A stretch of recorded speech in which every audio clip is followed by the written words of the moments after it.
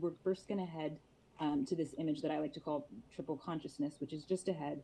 Um, if you look kind of up and to the left of where we are slightly, there's a um, fairly rectangular image with a, an upside down triangle of um, a skyline of Stanford University. So we're all we can all just head over there together.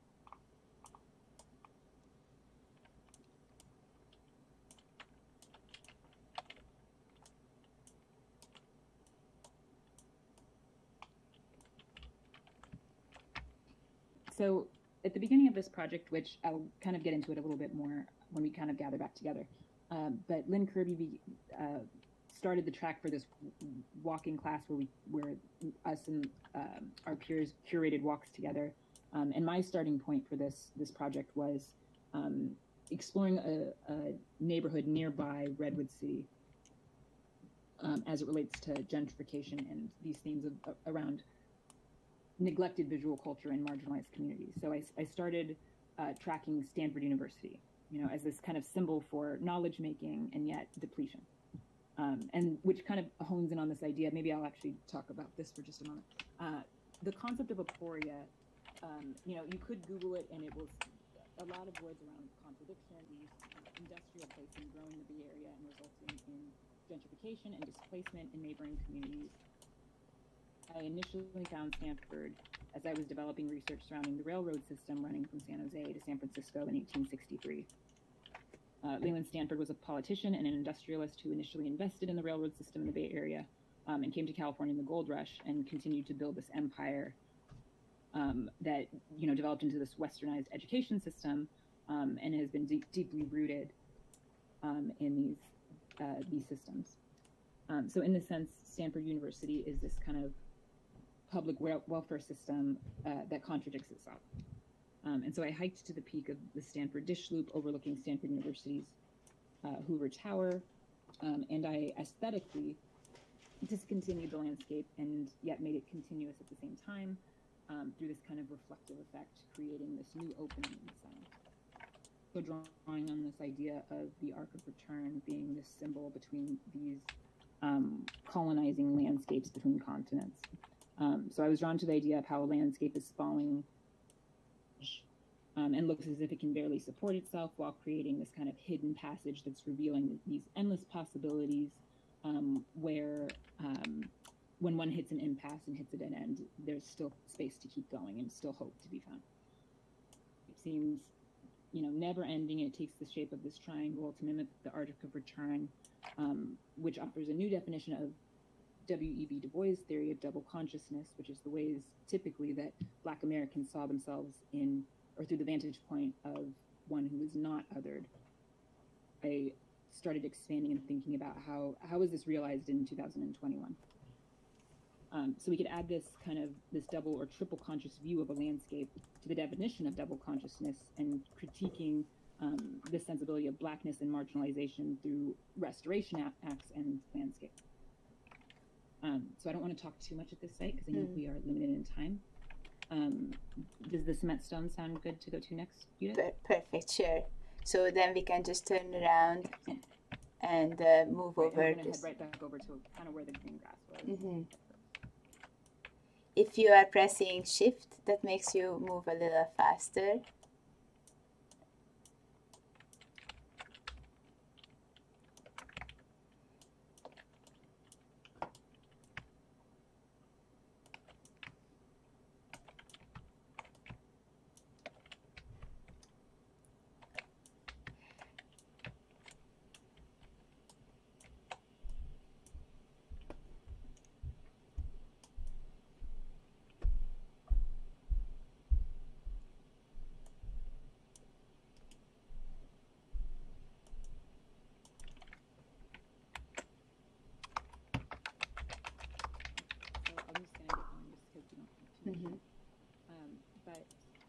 Representation of the stone you're seeing is reflective of my great grandparents' house, which was built um, in Redwood City in 1944.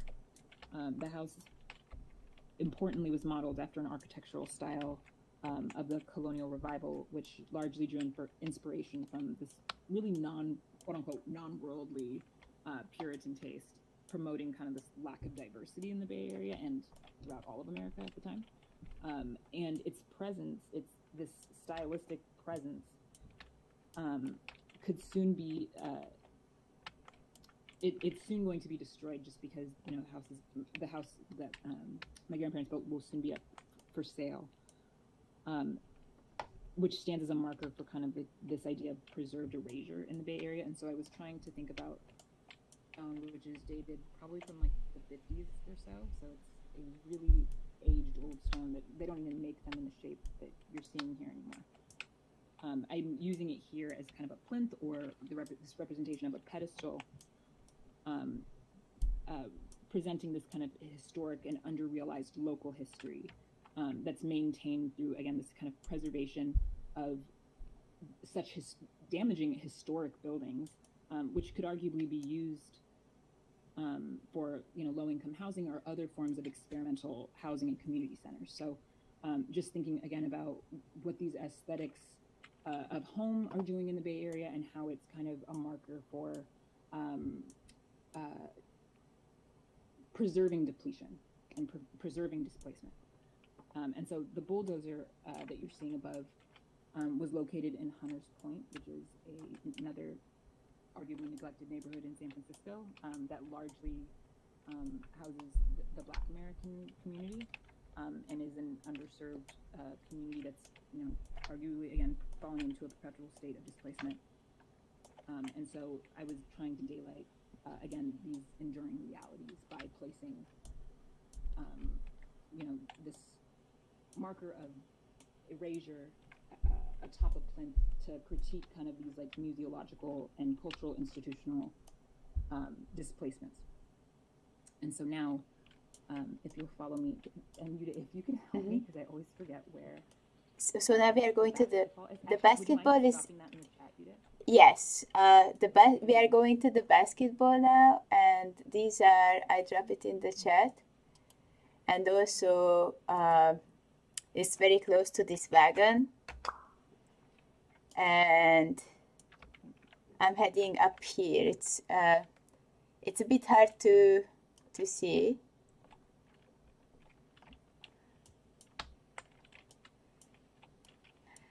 It just has this I'm so fascinated with like when you see the structure, it even smells, right? You're talking about the basketball structure. Yes. Well, all the other materials too, but somehow this from this close just makes me even kind of smell this old, old basketball. Um, so uh, this basketball, which I guess all of the objects in this space I'm thinking of as a constellation. This basketball I specifically wanted to, to hide and to only allow viewers to see it from certain vantage points as a um, as a symbol of visibility.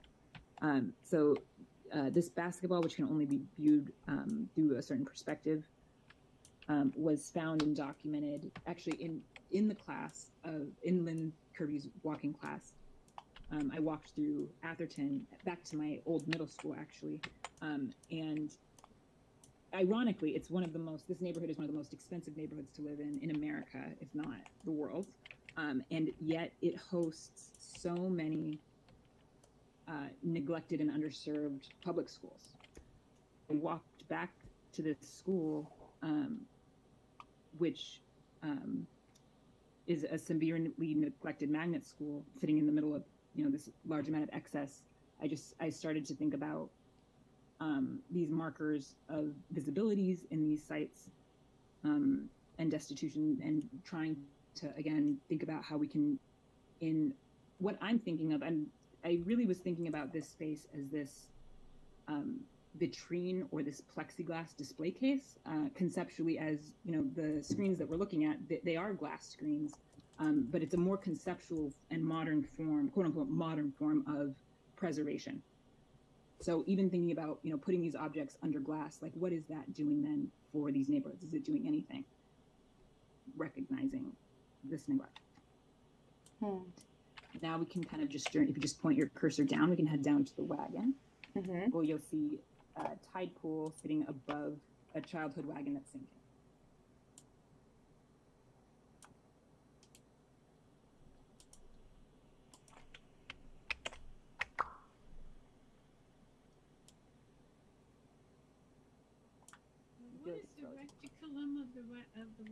I, I just dropped it in the chat.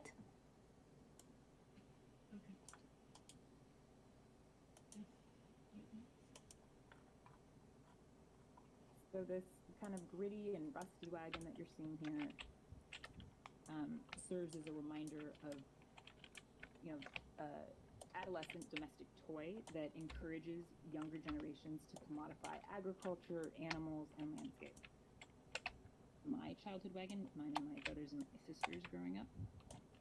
Um, we grew up actually at the house that I just mentioned that my great grandparents built. Um, and it, it, was actually in, if any of you made it to the, I was in a, an exhibition at Slash Gallery recently, and, and this was um, displayed there as well. Um, but actually, it was holding a plinth, um, but that plinth was quote unquote empty and only it, it had um, uh, classified insects atop this pedestal. But this work is doing something similar here, but this time it's uh, displaying um, tide pools from Pescadero. Um, so again, uh, the aesthetic of what you're seeing of this wagon um, functions to underscore these contradictions of industrial progress um, and you know what progress actually means and looks like. Does it look like these um, technological advancements on the wheel and moving through landscapes? Like not necessarily. That's not, in my view, that's not what progress means the ability to transport these quote unquote goods, right? And goods being land as well. Um, so keeping in mind how I you know used the H block that I just spoke about and other pedestals, um, it really informs uh, the way that this wagon is being used as an agent of preservation and revealing these contradictory modes of display um, that are possible, if not imperative, in reshaping the way that we think about cultural institutions. Um, so, you know, again, the tide pool that you're seeing um, that sits, you know, along the neighboring Pacific coast are levied in the sinking wagon, which is, um, again, submerging in San Francisco's Bayview or nearby Hunters Point, um, showcasing the potentialities of these forms of display. Thank you, Hannah. should we move to the oh, dust cloud? Yes? Oh, yeah, yeah. Uh, the say it again. Which, which one? I think that now it's time to move to the dust cloud. If uh, and uh, I think we can also maybe open up a bit more to like have folks uh, fly around on their own, and then uh, after so we're gonna meet on the dust cloud. But you are also the dust cloud is just in front of us and we could just like start to move around a bit in the space and soon arrive to the aporia after this. So we are moving towards this Polaroid image, which is on a clip, or you can press the dust cloud reticulum. May I ask what is on this in this image, Hannah, on the Polaroid? Yes, yes. So this is um, and I honestly I forget the day this last year. Um, and I feel like folks probably know the date off the top of their head if anyone wants to chime in. Um, but this was that um, that really catastrophic day where we saw our atmosphere disappear basically in the Bay Area.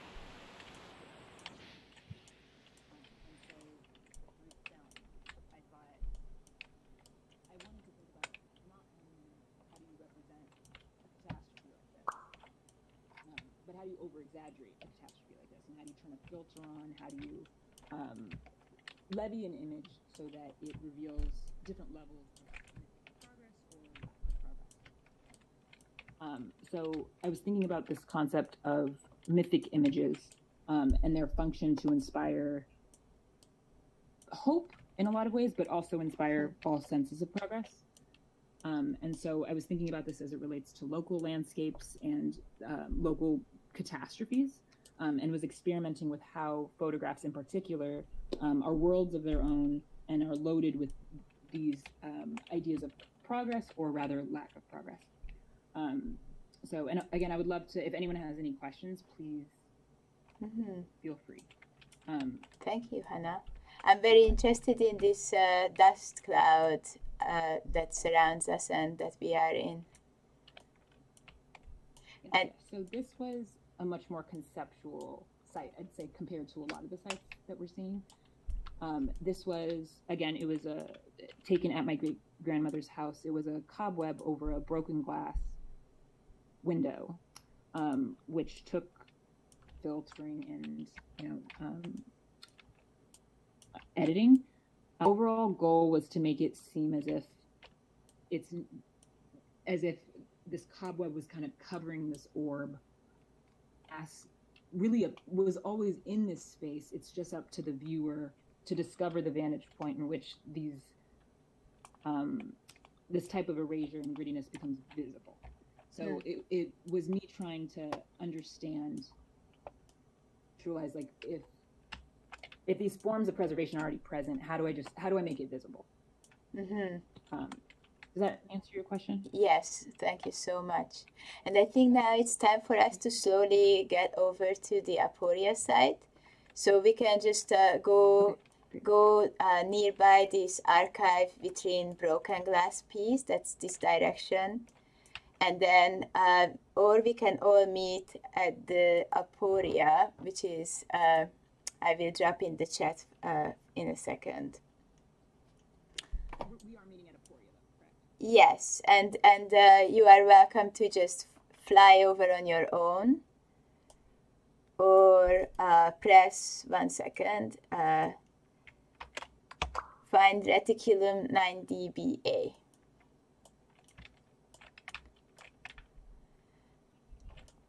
Yes, 9 dBA.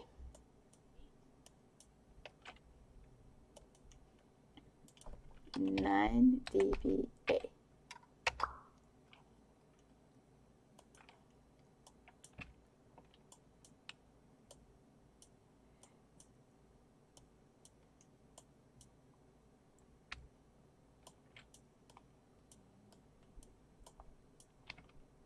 This might be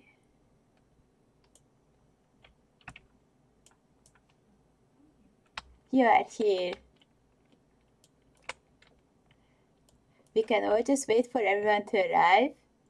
And uh, Hannah, should we uh, move to to be able to see the lion's head? Yeah, let's move a little bit more. Mm-hmm.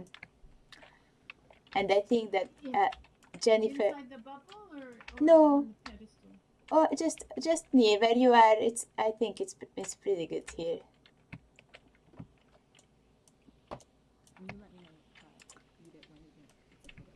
Yes, let me just uh, see where are, where is everyone else. So I see Victoria is nearby and Robin, and I think that Jennifer is uh, was uh, just walking uh, here here she is. So I think we are all, all gathering near to Hannah and then this can be uh, the spot for for their presentation. Is this a good spot Hannah? Yes. Perfect. Thank you so we, much. we have everyone. And also I would course. like thank you all for being so patient yes, I just wanted to say that uh, this place is going to be open. So after the event, you are welcome to look around uh, further, longer, slower at your own pace. And uh, it's, you can also find it in the Art Camp Commons, where you can visit the art studios. Thank you so much for, for joining us on this walk. And, and uh, I'm very, I would be very happy to hear uh, Hannah's further presentation if we are all close together. Yes, yes. Thank you so much, Judith, for helping to keep us on track and for guiding us. Um, so I'm just really quickly going to kind of lay out why we're here and why this is the final stop and um, the significance of this site. And then I'll kind of break apart why this project is, to me, really important. So, uh, the Bedwell Bayfront, which is in Menlo Park, kind of uh, for me, it's it's in between East Palo Alto and Redwood City. Um, and for those of you who don't know, you know East Palo Alto um, was a neighborhood that you know up until pretty recently was largely housing uh, a lot of the, the, Black American community in in the Bay Area. Um, and my great grandparents uh, started a ch- or not my great my grandparents started a church in East Palo Alto um, that fostered community and um, really created this atmosphere that was unlike any other. Um, and so it just it you know when I was taking this class with Lynn, I felt lucky enough to be able to this park that I went to for so long um, and really understand uh, how it's been preserved and who it's really accessible to, um, and just wanting to pay it tribute for, you know, those who have tried to preserve it in experimental ways. So um, this is Bedwell Bayfront, um, which was used as a landfill largely until the 1980s. Um, and which was made into a 163 acre national wildlife preserve. Um, uh, some individuals had created this path called the Great Spirit Path, which was a trail um, that's broken, and it's actually still available now, um, and is available along the trails, um, and is broken down into 53 verses and spread over three quarters of a mile throughout the park. Um, and each verse is represented by a large stone sculpture by Native American pictograph art. Um, and at, at uh, first, the Bedwell Bayfront Park seems unassuming, um, but it's located near the water treatment facility and other industrial areas in the San Francisco Bay. Um, and I do really want to just emphasize that one of the reasons I did want to draw on this area in particular is to really recognize that there are, you know, these cultural workers who are working to curate these walks and to daylight these sites that um, are not accessible to those who they're being ideally being preserved for. Um, and so I'm mm-hmm. drawn to sites like this that are working towards these experimental forms of preservation, um, if that makes sense. Wow. Mm-hmm. Um, and and so also kind of thinking back to you know what we saw with the first image in our first stop about this concept of triple consciousness, I started thinking this image was taken later than when I had first taken you know that kaleidoscopic image, um, and so I wanted to think about what device could render such a thing. What mythic? If I'm creating a mythic image or a mythic photograph, then you know it, should there be a mythic device that accompanies that? Um, and so I have uh, this lion's head, which is about 40 years old um, and is uh, the same uh, lion's face that you're seeing, but from three sides. So I was thinking about um, uh, these these vessels um, that have the hold the potentiality.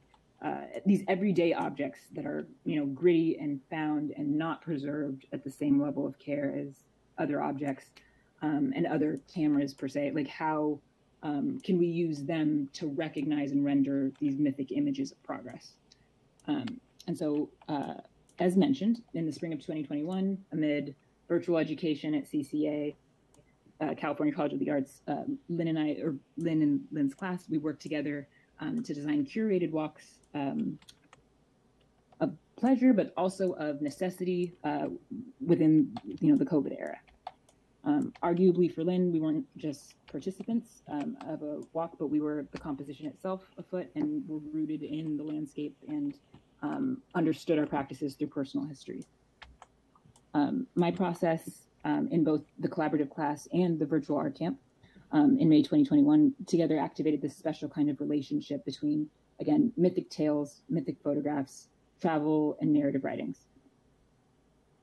writers and field researchers um, who have motivated my practice and arguably, I, quote, correct me if I'm wrong, and have motivated your practice are um, uh, essayists like important essayists like Rebecca Solnit, who wrote Wanderlust: A History of Walking, um, and Infinite Cities of San, the Infinite City of San Francisco, um, which were touchstones in in Lynn's class and continue to be a proponent in my physical wandering practice.